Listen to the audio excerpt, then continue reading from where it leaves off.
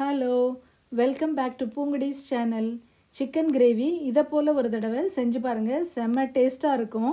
இந்த கிரேவி இட்லி தோசை சப்பாத்தி சாதம் எல்லாத்துக்குமே தொட்டுக்கிறதுக்கு ரொம்ப நல்லாயிருக்கும் ஒரு தடவை செஞ்சு பார்த்துட்டிங்கன்னா அடிக்கடி இதையே செய்யணும்னு தோணும். அவ்வளோ ஒரு டேஸ்ட்டாக இருக்கும். இந்த சிக்கன் கிரேவி செய்கிறதுக்கு ஆறு டு ஏழு வரமிளகாயை ட்ரை ரோஸ்ட் பண்ணிக்கோங்க. அதோட ஒரு பன்னெண்டு முந்திரி பருப்பையும் சேர்த்து ட்ரை ரோஸ்ட் பண்ணிக்கோங்க. இதை நல்லா ஆற வச்சு மிக்சியில் அரைச்சிக்கலாம்.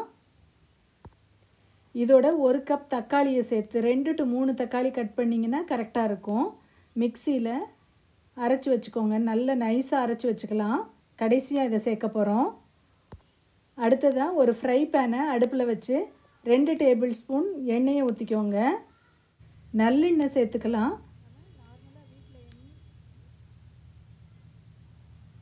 எண்ணெய் நல்லா சூடு ஏறினதும் மசாலா பொருட்கள் பட்டை கிராம்பு ஏலம் நட்சத்திர சோம்பு லவங்க இலை மிளகு ஜாதிபத்திரி எல்லாத்தையும் சேர்த்துருக்கிறேன்.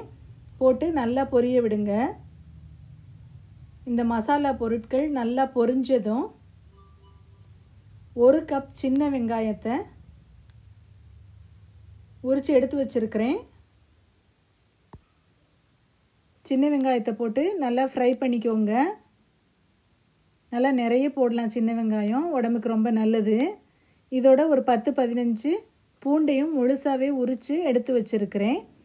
அதையும் நம்ம சேர்த்து ஃப்ரை பண்ணிக்கலாம்.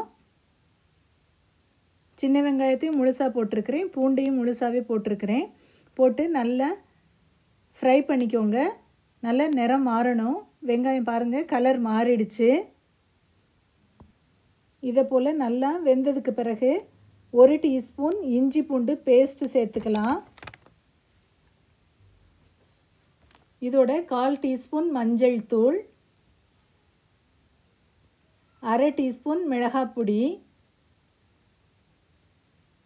ஒரு சிட்டிகை அளவு காஷ்மீரி ரெட் சில்லி பவுடர் சேர்த்துக்கலாம். இது நல்ல கலரை கொடுக்கும்.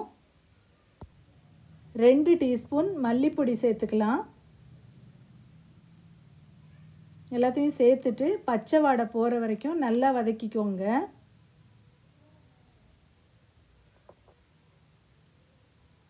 லைட்டாக எண்ணெய் பிரிஞ்சு வரணும். இந்த மாதிரி எண்ணெய் பிரிஞ்சு வரும்போது பச்சை வாடையெல்லாம் போயிடும். இந்த டைமில் நம்ம கழுவி சுத்தம் பண்ணி வச்சுருக்கிற சிக்கன் பீசஸை சேர்க்கலாம். ஒரு கிலோ சிக்கன் சேர்க்குறேன் நான். இந்த அளவு மசாலா பொருட்கள் எல்லாமே ஒரு கிலோ சிக்கனுக்கு கரெக்டாக இருக்கும். சிக்கன் பீசஸை நல்லா கழுவி சுத்தம் பண்ணிவிட்டு சேர்த்து ஃப்ரை பண்ணுங்கள் இந்த மசாலா சிக்கன் பீசஸில் நல்லா மிக்ஸ் ஆகிற அளவுக்கு எல்லா பீசஸ்லேயும் உங்களுக்கு மசாலா நல்லா படணும். அந்த அளவுக்கு மிக்ஸ் பண்ணுங்கள் எண்ணெயும் லைட்டாக பிரிஞ்சு வரணும். இதை போல் எண்ணெய் பிரிஞ்சு வரணும். சிக்கன் கொஞ்சம் வெந்துடும் இந்த அளவுக்கு நல்லா ஃப்ரை பண்ணிவிட்டு அதுக்கு பிறகு ஒரு டம்ளர் தண்ணி சேர்க்கலாம். ஒரு டம்ளர் தண்ணி சேர்த்து நல்லா மிக்ஸ் பண்ணி விட்டுட்டு மூடி வச்சு ஒரு அஞ்சு நிமிஷம் வேக விடுங்க.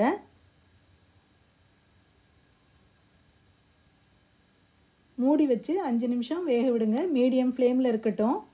அஞ்சு நிமிஷத்துக்கு பிறகு நீங்கள் எடுத்து பார்த்தீங்கன்னா சிக்கன் பீசஸ் வெந்திருக்குதா அப்படிங்கிறத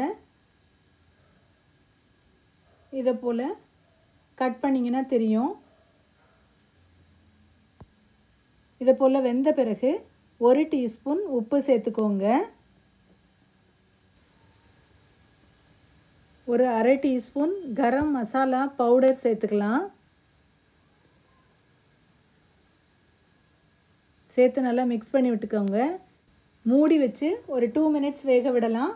பிறகு நம்ம ஏற்கனவே அரைச்சி வச்சுருக்கிற வரமிளகாய் முந்திரி பருப்பு தக்காளி மிக்ஸையும் இதில் சேர்த்துடலாம். தேவையான அளவுக்கு தண்ணியையும் இப்பயே சேர்த்துக்கலாம். நம்மளுக்கு கிரேவி எவ்வளவு திக்னஸ் வேணுமோ அதுக்கு தகுந்தா போல் நம்ம தண்ணி சேர்த்துக்கலாம். திக்காக வேணுனாலும் வச்சுக்கலாம். இல்லை கொஞ்சம் தண்ணியாக வேணாலும் கொஞ்சம் அதிக தண்ணி சேர்த்துக்கலாம்.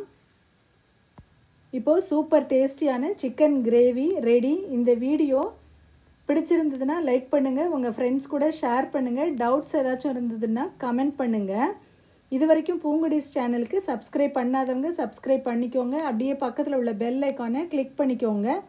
அப்போ தான் நான் அடுத்தடுத்து போஸ்ட் பண்ணுற வீடியோஸோட நோட்டிஃபிகேஷன்ஸ் உங்களுக்கு உடனேக்கு உடனே வரும். தேங்க்யூ